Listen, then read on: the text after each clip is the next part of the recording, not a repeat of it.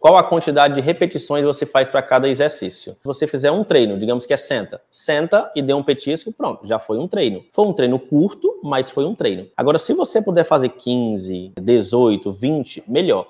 O número adequado seria entre 21 e 30 repetições. Eu gosto do número 25, tá bom? Então você faz, você quer ensinar o seu cão a sentar, você repete 20, 25 vezes, senta, sentou, joga o petisco no chão, não dá na boca dele, por quê? Porque senão ele permanece sentado senta, sentou, joga o petisco assim, 30, 40 centímetros, só para ele se levantar e comeu. Assim que ele terminou de mastigar, você senta, 3, senta, 4, 5, 10, 15, 20, 25. Chegou em 25, é muito bom, galera, parabéns, faz um carinho nele, dá ali 4, 5 petiscos a mais e encerra o treino. Depois vai fazer o treino no dia seguinte, ou dois dias depois, ou no mesmo dia, à noite, se você fez de manhã, faz à noite.